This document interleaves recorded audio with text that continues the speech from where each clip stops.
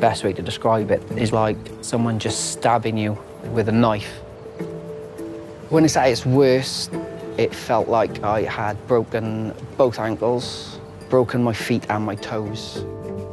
I can't see how it's ever going to get under control.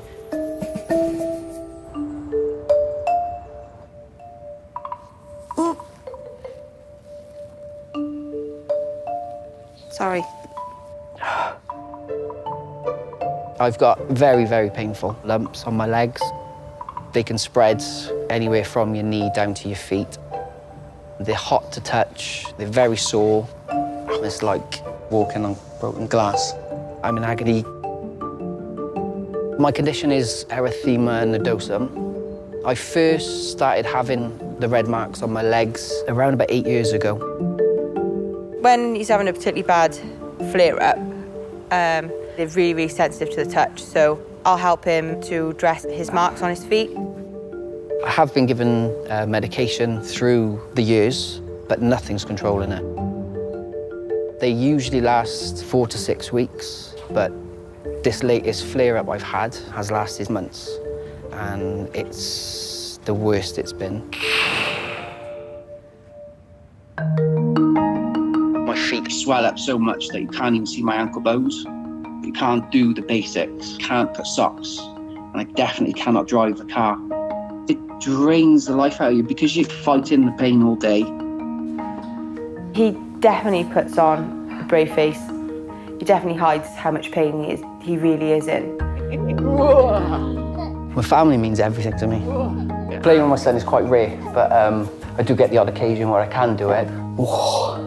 But it does hurt after it. That hurt then. Have done that. So I can only do it for literally two minutes and then the pain kicks in. But I'll take two minutes picking him up and putting a smile on his face for a bit of pain, so it's worth it. I don't feel like I can be a proper father figure. That's the bit that gets me the most.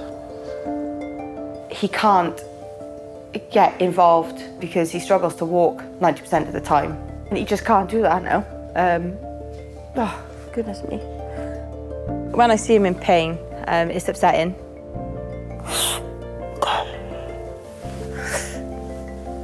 It's just not very nice to see. It is hard. Um, it does get you down.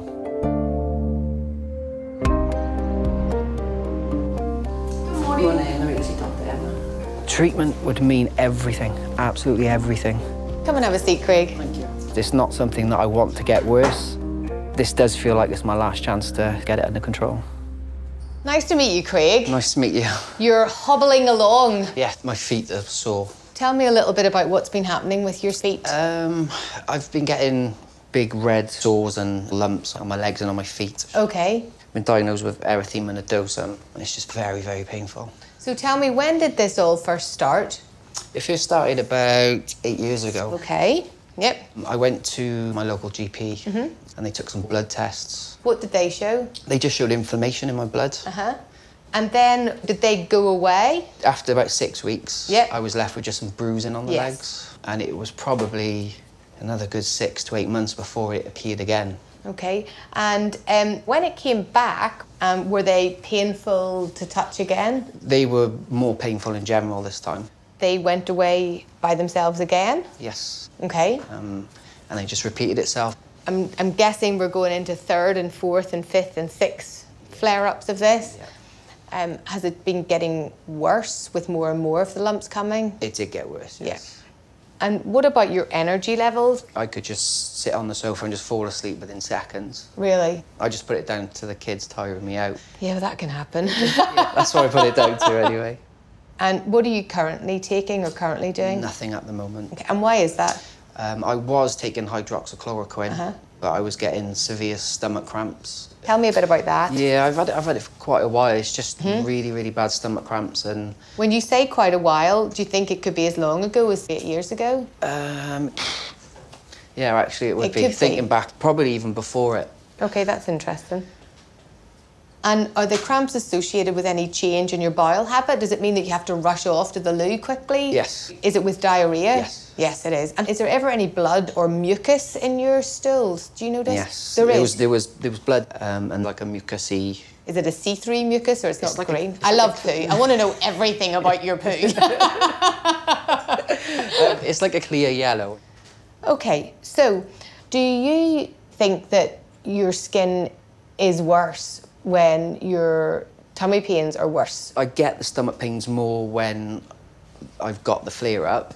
Um, Yeah. Definitely. I think that's time. quite important. Yeah. Erythema nodosum is an inflammatory condition that affects the fat within the skin. And it's typically caused by a hypersensitivity. In other words, something that's in the body is triggering this inflammatory reaction off. Your skin is overly sensitive to something. And I'm interested that you keep getting it and then it goes away and then it comes back. Yeah. So, you know, if you've got blood in your stools Yeah. and you've got this change in bowel habit, I mean, we need to investigate that, Yeah. you know, fairly promptly because that and the skin condition are probably related. Right. Okay. That's the first time it's been explained to me. Yeah. that, and I, I didn't know that. Yeah. Okay, let's get you over to the couch. So these feel like little nodules Yes. in the skin. They're very thick and hard, and then they're a little bit hotter than the skin nearby. And then moving up the leg, you've got a few smaller ones. Yep. Although this still feels like a nodule, it's not quite as red as the rest of them. Yeah. It's been there longer. These ones here have been gone for a long time. The darker ones. Yeah. Yeah. Erythema nodosum would normally clear after a few months, and you're not likely to see it again. Craig is very, very different. I really firmly believe that there's something going on inside Craig's body that's causing this reaction, and the clues are in the skin. I'm just going to touch along these ones. Yeah, they're sore, are they? Yeah. I can feel you tense up whenever I Yeah. touch these. As soon as Craig was telling me about having blood in his stools from time to time and mucus, huge alarm bells are ringing in my head. These are all features associated with inflammatory bowel disease. I'm going to organise a whole lot of blood tests for you. Yep. And I want you to see one of my colleagues to have an investigation of the bowel issues that you've been Yep. having. That would be the best thing because then we know what it is. And if we treat that, then this should stop happening. Yep. But I don't want you to worry that I think that I'm looking for something horrible and nasty. Is that okay? That's perfect. yeah. Okay, good. Thank okay. you. Thank you very much.